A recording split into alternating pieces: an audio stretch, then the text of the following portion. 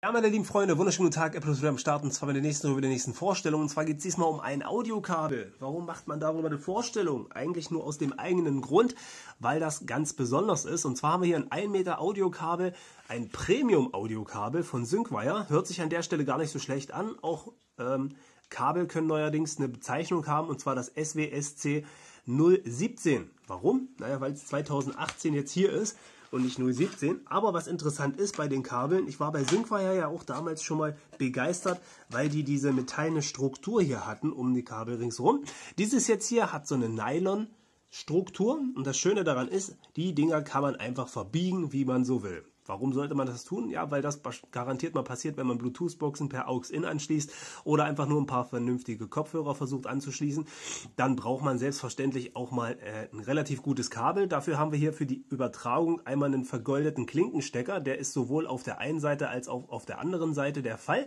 Somit soll also die perfekte Audioqualität garantiert werden. Das hört sich doch schon mal ganz gut an. Also zumindest so vom theoretischen her. Wenn ich das Ganze jetzt nochmal so vergleiche mit den üblichen Audiosteckern, ich habe jetzt gerade mal hier so ein übliches Gerät, was ich so habe, das ist ganz normal, ist nicht vergoldet, muss ja auch nicht sein. Die Audioqualität fand ich bisher immer ganz in Ordnung. Aber das Problem ist, ich habe jetzt leider das kaputte Kabel nicht dabei, nur dieses hier aus der Kabeltasche mal schnell gezaubert mit einem Adapter von 3,5 mm Klingenstecker auf 2. Wer sich wundert, was das ist, die brechen ganz gerne mal hier an den Stellen und das ist wirklich nicht lustig. Das heißt, dann hat man wirklich einen hohen Verschleiß von den Kabeln, denn innerhalb von ein paar Monaten kann das gerne mal sein, dass das gute Gerät hier unscharf bleibt und es einfach nicht funktioniert. Was soll das? Was soll denn das? Hier an der Stelle kommt dann der Bruch und ich habe das schon x-fach gehabt, dass da ein paar Kabel rausgeguckt haben. Das ist wirklich kein Spaß. Deswegen hatte ich mir damals mal das habe ich mir gar nicht geholt. Das war bei einer Ninetech Bluetooth Box dabei. Äh, war das erste Nylonkabel äh, von 3,5 Klinkenstecker, was ich so hatte. Das hat auch schon x-fach Drehung ausgehalten, muss ich sagen. Und dementsprechend ist das fast unkaputtbar, hat aber auch hier keine vergoldeten Anschlüsse, wobei das jetzt hier nicht das Oberproblem ist und ich wahrscheinlich den Unterschied eh nicht raushören würde und ihr wahrscheinlich auch nicht gleich. Es sei denn, ihr seid audiophile Fetischisten oder sowas in dergleichen, dann könnte vielleicht sowas noch der, könnte sowas vielleicht noch die Rolle spielen. Aber hier ist es auf jeden Fall interessant zu sehen, wenn wir die beiden Kabel mal nebeneinander halten. Klar ist das jetzt hier aufgewickelt, bevor ich das jetzt entwickle, wäre es ja Quatsch. Wir können die jetzt hier so oft drehen, wie wir wollen. Manchmal bleiben die dann auch sogar in der Position. Wenn ich das Ganze jetzt hier bei dem kleinen Ding probiere, so, der biegt sich auf jeden Fall wieder zurück. Das heißt, das ist jetzt noch ein bisschen flexibler. Kann ich ja ruhig drücken, passiert eigentlich gar nichts. Das ist das gut. Also eigentlich in drei, vier Jahren würde ich das vielleicht nicht unbedingt mehr sagen. Aber wenn ich jetzt hier so ein bisschen, so, das ist ein bisschen steifer gefertigtes Kabel. Dementsprechend kann man sehen, ja gut, okay, das hält was aus. Aber irgendwann, vielleicht gibt es ja hier in dem Kabelkanal, innen drin ist Gummi, außenrum ist Nylon, das ist nun mal so der Fall, ja. Vielleicht gibt es da auch irgendwann eine poröse Stelle und das Teil ist hin.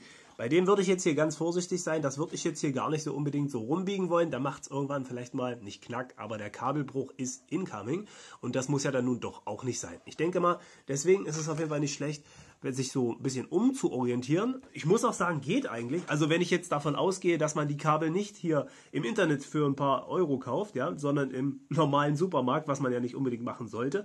Dementsprechend, also unterstützt die lokalen Supermärkte, logischerweise, ja.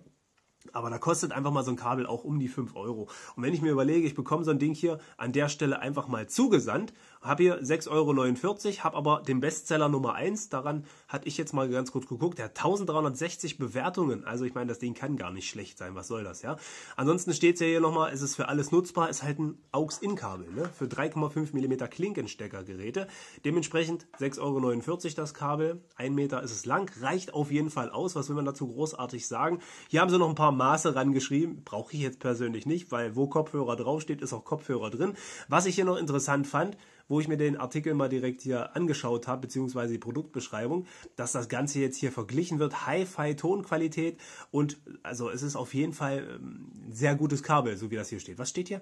Military Fiber, also Fiberglas oder was ist da los mit Military Standards oder wie? Auf jeden Fall ist es, jedenfalls ist es heller, heller ist es nicht, es ist haltbarer als alle anderen Kabel, die man bisher jetzt hier aus dem Gummisegment so hat und dementsprechend kann man das auch mit allen Sachen verwenden. Finde ich eine praktische Sache, habe ich euch das auch mal gezeigt. Ich werde es auf jeden Fall jetzt in Zukunft nutzen und ausprobieren, aber ich denke mal, einen ganz groben Audiounterschied wird man dabei nicht erfahren. Fakt ist, die Haltbarkeit so eines, Kabel, eines solchen Kabels ist auf jeden Fall höher als so ein normales Gummikabel und ich meine, die hier ja, es gibt's halt. Es ist jetzt zwei Jahre alt jetzt hier. Es sieht aus wie neu, würde ich fast mal sagen. Ne? Mal sehen, wie lange das hier so hält. Aber ich denke mal, wenn das hier so weiterhin so gut ist, kann man da auf jeden Fall nichts Falsches sagen. Nur so als kleine, kleiner Tipp am Rande nochmal.